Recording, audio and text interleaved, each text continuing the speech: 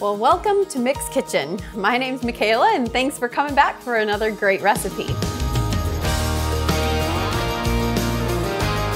Today, I am going to make a very easy recipe.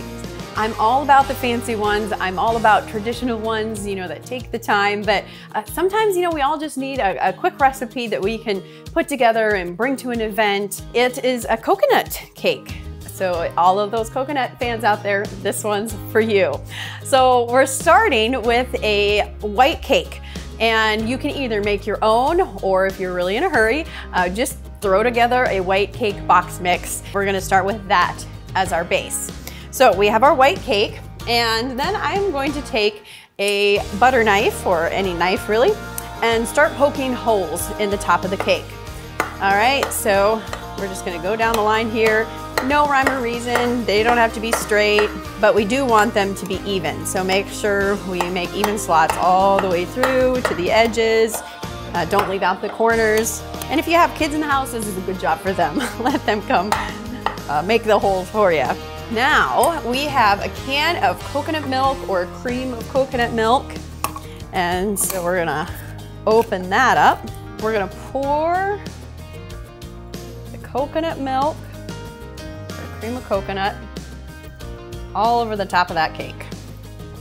So I might take my knife again and poke a few more holes and it'll keep going as it, as it sets. So we're gonna let this soak in a little bit. Uh, but the very top has toasted coconut. So I have about a cup and a half of coconut toasted in the oven. All right, so toasted coconut, you definitely want to keep a close eye on it because it's going to cook really fast after it gets to a certain point. So you don't want it to burn. I'm on the edge a couple of these places, uh, but it's okay some of that um, un untoasted. So we're just gonna mix it up here beautiful color. So you get that really dark brown. Hopefully, yeah, some of these are really dark, so I might just leave those on the edge. And then you mix it with some of the white. Oh, just beautiful. Oh, and it smells so good. All right, so we're gonna let this cool here a little bit. That looks beautiful, perfect. We'll leave it like that. So we have a type of Cool Whip.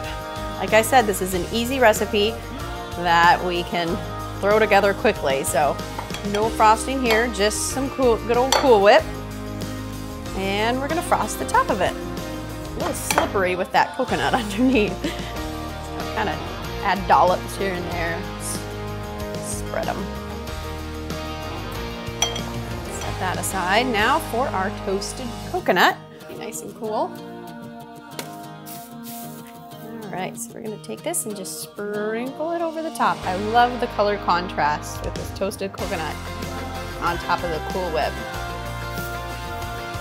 Super, super easy, super beautiful. And obviously there's a lot of coconut here, so you can really either douse it, you can make it a little thinner layer, whatever your personal preference. Or after you uh, cut the pieces of cake and you're ready to serve them, you could sprinkle some around the plate before you set the cake on it or sprinkle it over top to add a little garnish to each piece. I think that looks beautiful. So there we have a cream of coconut cake. Simple, easy. Um, if you love coconut, you're gonna love this recipe.